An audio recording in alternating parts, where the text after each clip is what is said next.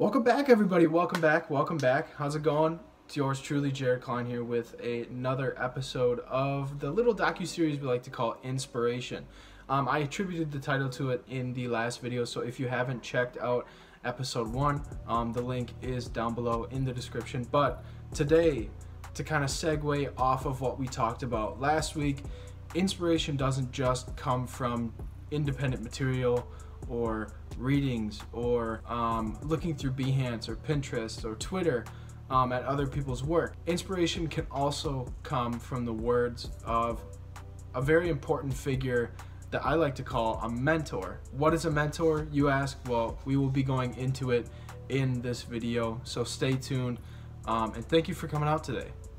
So what is a mentor, you ask? Um, so basically a mentor, at least in my words, is a person I trust and I look to for advising, whether that be your your dad, your parents. I guess I said your dad for no reason, but whether that be your parents, a close friend, um, a person that's within the same, I guess, realm as you are. For me, it would be designing or business.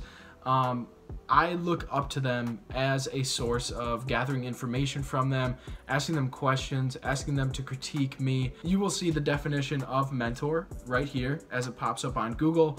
I mean, a mentor is someone that's very influential um, in your life that supplies very usable information to you and allows you to be able to ask them questions and for them to be super open to you about critiquing you, um, about telling you what they think. While you have this mentor, um, you will be open, um, at least I am open to receiving the information that they're giving to me because I trust their judgment. I trust their experience and I trust that they will be looking out for me and have my interest um, have my interest and I and like feelings and emotions and and how I develop things in their best interest when they're giving me that advice.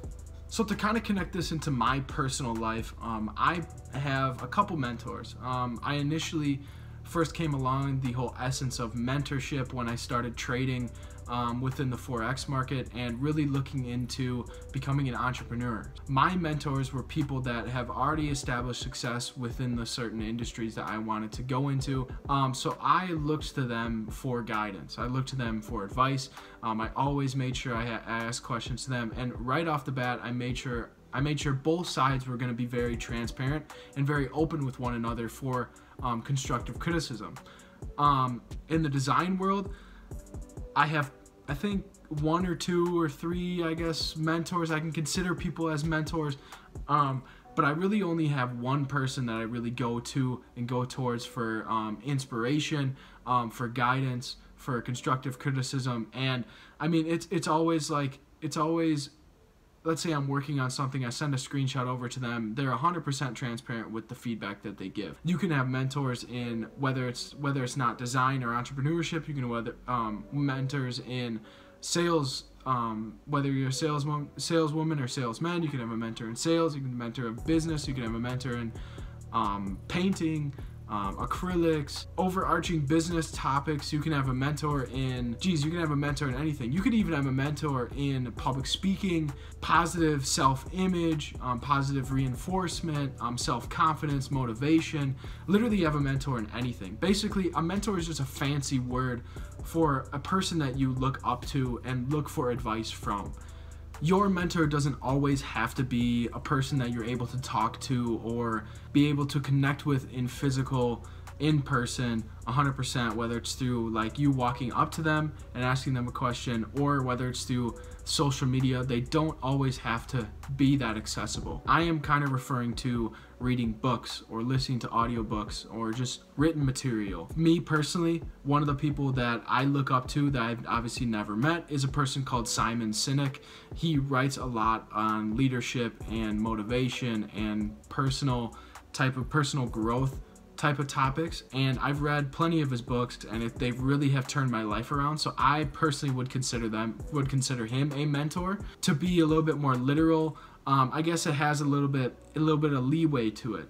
Some people will look as a mentor being able you being able to go up to them in person ask for ask for information you kind of connect with them on a personal and social level um, like you would connect with one of your friends. Um, but I personally think if a person is, is is supplying information for you that you are getting a positive um, a positive effect from um, that you're gathering information that that is able to grow you as a person and expand your mind a little bit consider them as a mentor. You can always send them emails and write them letters if you want to get feedback from them. I mean on the off chance i mean you never know you know? The off chance of them getting back to you that'd be insane. That honestly if i would send simon sinek an email and get something back from him i would be amazed. Completely and utterly amazed. That would make my day. I would completely that that would light a fire under my ass. Excuse my language. That would light a fire underneath me, and I would literally stop and drop what I'm doing and get being productive. That's how much of an impact um, mentors have on myself and what I do on a day-to-day basis. So, in all in all, to kind of wrap things up for you guys, um, mentors are a huge part of personal growth, um, personal well being. You always got to have that person that you can lean back on and ask for advice and ask for constructive criticism. The only way you actually grow as a person is when you fail or when you make a mistake, you have someone to critique you and tell you that, hey, rethink this. Maybe you didn't do this 100% to your ability or 100% that I believe you can do this. Work harder, do something different. Um, obviously, it's going to depend on the person how how you react to that certain constructive criticism, and that's where you have to be open with your mentor, open with your person, um, to how effective that type of constructive criticism could be for you. I love it when people call me out. It lights me up. It makes me want to do better. Um, that that's just kind of how I construct my relationship with my mentor. So, I mean, all in all, if you can get a mentor, get a mentor. Looking for a mentor, sending out DMs is honestly one of the best things I've done for myself, and it has grown me um, as a person, not only in design and entrepreneurship, but as Jared Klein. Um, my mindset has shifted over and over and over again because I have asked certain questions that have that I have allowed my mentor to kind of rip me apart on, or kind of overwhelm me with with potential um, scenarios or different changes in mindset or different emotions that I've never really experienced before.